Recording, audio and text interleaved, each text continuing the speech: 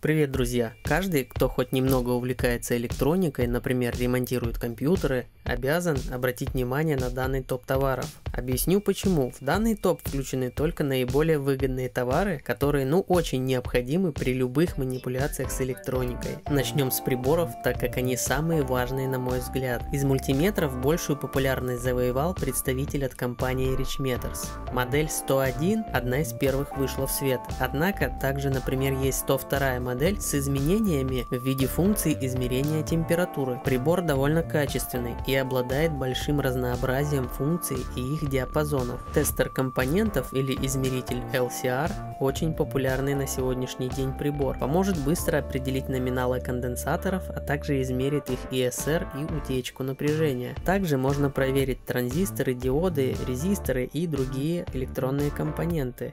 Тестер компьютерных блоков питания. Довольно полезный прибор, когда компьютер просто не запускается, процесс диагностики и замеров напряжения значительно упрощается. Посткарта индикатор кодов BIOS, который поможет определить по коду, какое устройство неисправно. Есть на различные разъемы PCI, мини-PCI, которые используются в ноутбуках. Программатор BIOS BIOS – программный код, без которого запуск компьютера невозможен, и если BIOS имеет ошибки или он вовсе стерт, поможет программатор. Бывают случаи выхода из строя микросхемы памяти, куда и прошивается BIOS, поэтому для прошивки новой или донорской понадобится это устройство.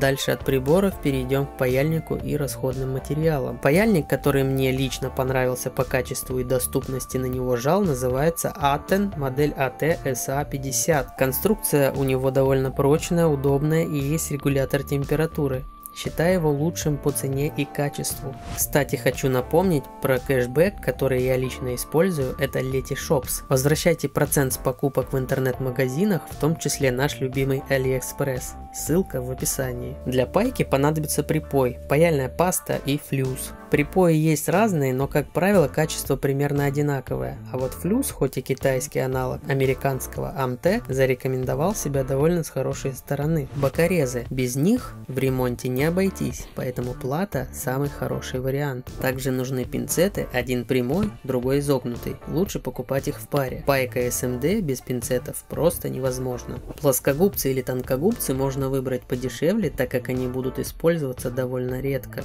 Ну и термопаста. Обслуживание без термопасты просто что-то нереальное.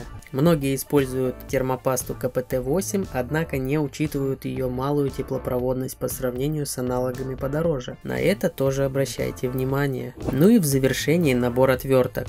Джекли очень неплохой набор, тем более, что уже сам использую подобный в течение 6 лет. И могу сказать, что ни разу не пожалел о покупке. Что ж, на этом обзор приборов и инструментов заканчиваю. Все ссылки под видео. Пишите ваши комментарии, у кого какие опыты использования. Предлагайте альтернативы. Спасибо за просмотр и увидимся в следующих выпусках.